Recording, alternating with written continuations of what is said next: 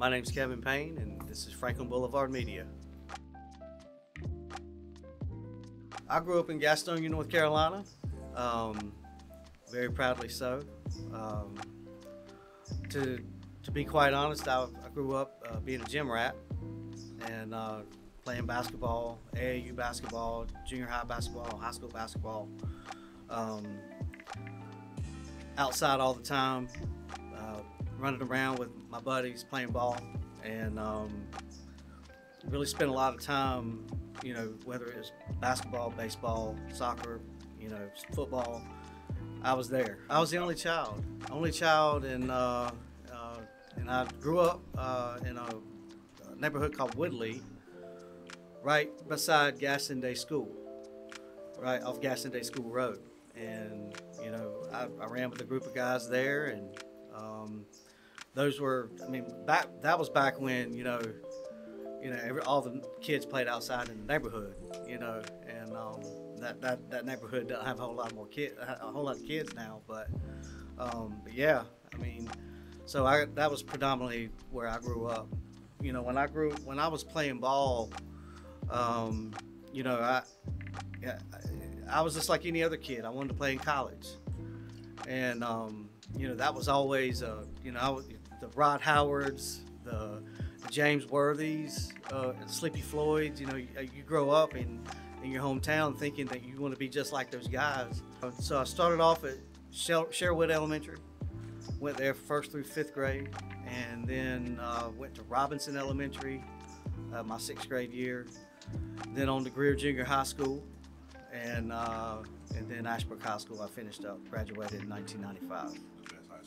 Well, uh, you know, it was kind of once I figured out I wasn't going to play basketball anymore. You know, I figured out that you know because I you know a lot of my my guys kept growing and I didn't, and um, so I, I knew that I needed to focus on my studies. Started off at Western Carolina, and um, you know went into college didn't really know what I wanted to do. Western Carolina is a wonderful school. It's a beautiful place, but it's just not really my kind of weather. Uh, so I went there for two years, and um, I knew I wanted to have a social life and, and wanted to have that same bonding that I had with a lot of my buddies back in Gastonia. So I pledged a fraternity at Western Carolina, Sigma Chi. And uh, but um, when I left, to, to go to NC State. Sigma Chi actually embraced me at NC State, and um, but it was really sad to leave Western Carolina. I wish I could have taken all those guys with me. I was I had not declared my major yet.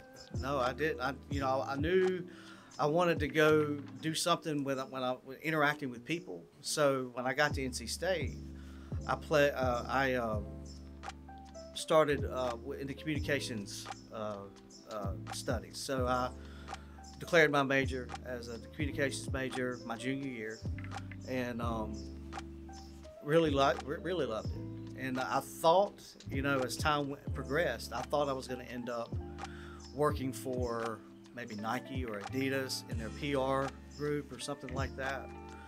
Um, but you know, like I said, I had that bonding with my fraternity brothers, and a lot of them were going into banking.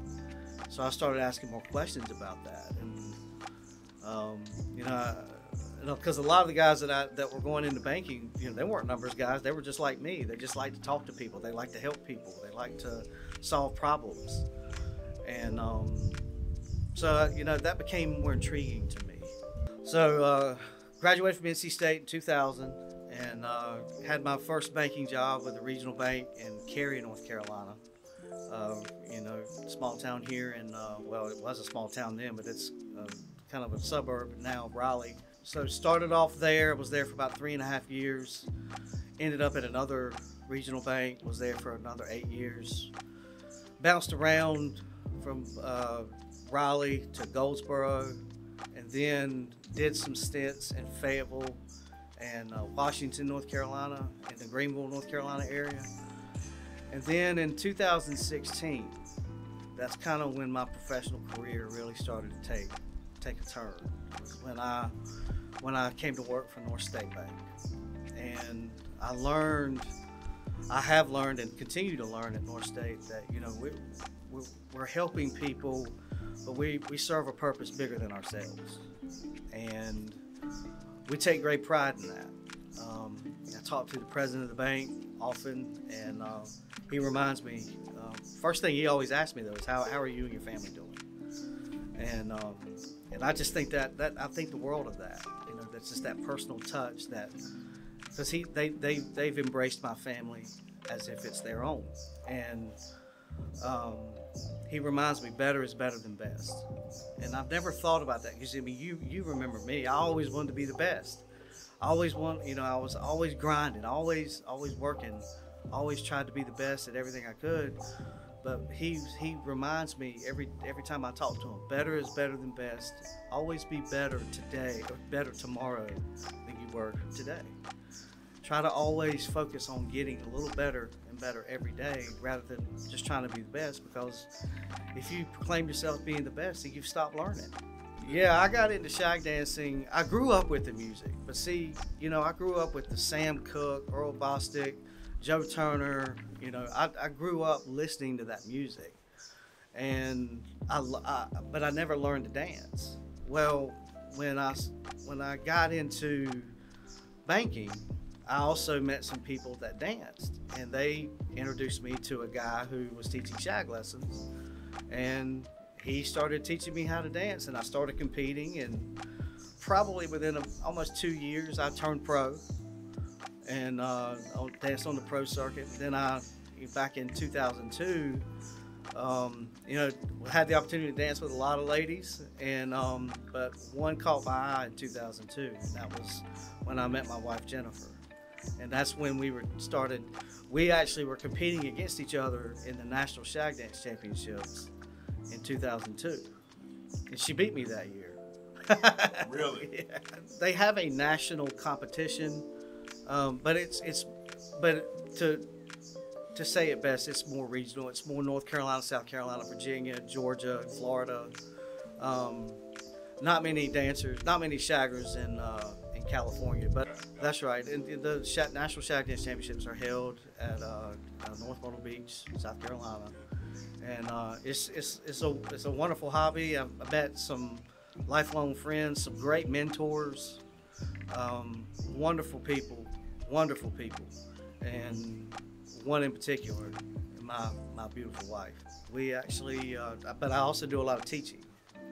I, have danced uh, probably, golly, almost 25 years now. But I also I, I have a passion for helping junior dancers, kids. You know, probably I've helped them from eight years old to 21 years old. I, I knew I always there was always something uh, inside of me that always wanted to be part of the community in in dancing or in that in, in, in that music just because I connected with it so much. I, it, it really t- takes me back to when my dad, um, I would sit uh, in a big armoire where he had a huge stereo, and I would just look at his albums uh, for, for hours, you know, the vinyl albums. I would look at him for hours and I, and I would ask him, you know, but what about this album? What about that album? And he would tell me stories about these um, about these artists. And I just Clyde McPhatters of the world. He was from Durham, North Carolina. You know, he was part of the original Drifters. You know, so I mean, it. Uh, I just all of that. I just it it was it became a heartfelt uh, obsession to me because I love that stuff. I love that stuff, and so when I wanted to compete in something and knew it wasn't going to be basketball anymore, I was like, you know, maybe I need to look into the shag dancing thing, and, and it really, it really just took off from there. So I'm the market president in Garner, North Carolina, with North State Bank. So what I do is I oversee the commercial loan portfolio, the, the consumer loan portfolio, all the operations, uh, and all the um, all the business development efforts. Um, and I report directly to our chief people officer, who who um, manages all the market presence in the bank. I've been uh, with uh, North State Bank now for uh, eight years. Uh, I, I, shortly after I joined the bank in 2017, because I joined in October of 16, but in May of 17 they moved me into the market president uh, role. So it was uh, it was it was a great opportunity, and it's just been a good fit thus far. My advice to you is to embrace the people around you, the good people around you. Um, no matter what, no matter what, what the origin of the friendship is, you know, embrace those friendships. Uh, embrace, you know, the mentors that come your way. You know, they're there for a reason. Um, embrace their advice. Embrace embrace their guidance because it's it's it's, it's money can't buy it. And you know, be hungry, stay humble, and just keep moving.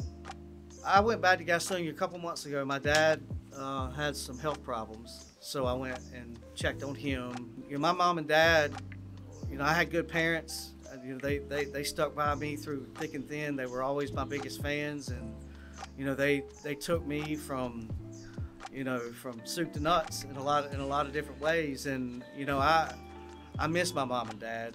They're luckily they're they're still with us. Um, but I'm you know they they they helped shape who I am, and I'm very grateful for that. Golly, I don't I I, I go by Ashbrook High School, and I'm like, yeah, I recognize this, but then I hang a left down, and I'm just like, I, I don't I don't recognize this place. I mean, all the way over there where the Hickory Tavern and all that all that's new and. You know, because I remember you, you used to turn down and you go through Bradford Heights and all that, and and that we used to play ball down there. Yep. Yeah, and I mean, I miss, you know, I mean, I, I kind of miss that because I, I wanted to take my when my my oldest daughter got of age after before she, you know, started to you know really figure out what was around her. I was going to take her down that neighborhood, that, down at the, the courts we used to play at, and, but I mean, it was all gone by then. So it's really good to see my hometown flourish and grow, and and so many good people have come from Gastonia.